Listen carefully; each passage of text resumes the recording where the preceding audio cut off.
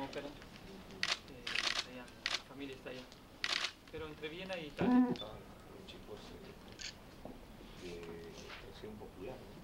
Eso, es, lo, importante. ¿Cuándo la idea de llevar Fuera de Lima, en Manchay, Son zonas de, de población de escasos recursos. Sí, pues muy bien, muy bien, estamos avanzando. Ya tenemos 15 núcleos que son las escuelas que están en todo el país. están formando, tiene una fundación que está formando nuevos cantantes, o cantando a los chicos que, que muchas veces no tienen oportunidades. ¿no? Entonces es importante. Sí, orquestas, coros, juveniles y infantización, ¿no?